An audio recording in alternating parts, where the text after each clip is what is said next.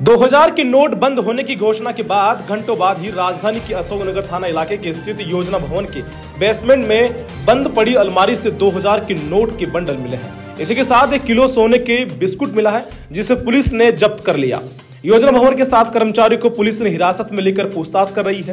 राजधानी जयपुर कमिश्नर आनंद श्रीवास्तव ने बताया कि जिस बेसमेंट से नकदी और सोना मिला है, वहाँ ई फाइनिंग प्रोजेक्ट के तहत फाइलों को स्कैन करके उन्हें डिजिटलाइज किया जा रहा था। वहाँ दो अलमारियाँ बंद थी, उनकी चाबियाँ नहीं मिल रही थी। जब चाबियाँ नहीं मिली तो उन अलमारियों को लोग तोड़कर खोला गया। एक अलमारी से फ़ाइल मिली, जबकि दूसरी अलमारी से एक ट्रोली सूटकेस मिला।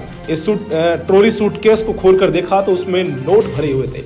इसके बाद ही कर्मचारी ने अशोकनगर थाने को सूचना दी। इसके बाद थानाधिकारी और वरिष्ठ पुलिस अफसर मौके पर पहुँचे और पुलिस ने ट्रोली सूटकेस को खोलकर करेंसी नोटों को गिनकर जब्त किया। करीब दो करोड़ इकतीस लाख केस के साथ एक किलो सोने के बिस्किट भी मिले हैं। योजना भवन में करोड़ों की नकदी मिलने के बाद शुक्रवार देर रात मुख्य सचिव उषा शर्मा, पुलिस महानिदेशक उमेश मिश्रा, अतिरिक्त पुलिस महानिदेशक दिनेश एमएन और जयपुर कमिश्नर आनंद श्रीवास्तव ने सचिवालय में प्रेस कॉन्फ्रेंस करते हुए कहा कि योजना भवन की अलमारी से करोड़ों की नकदी व एक किलो सोने मिलने की घटना में योजना भवन के विभागों के अधिकारी कर्मचारी सख्त के दायरे में हैं। सात कर्मचारियों को हिरासत में लेकर पूछताछ की जा रही है। वहीं जयपुर पुलिस कमिश्नर ने पूरे मामले का जल्द खुलासा करने का दावा किया है।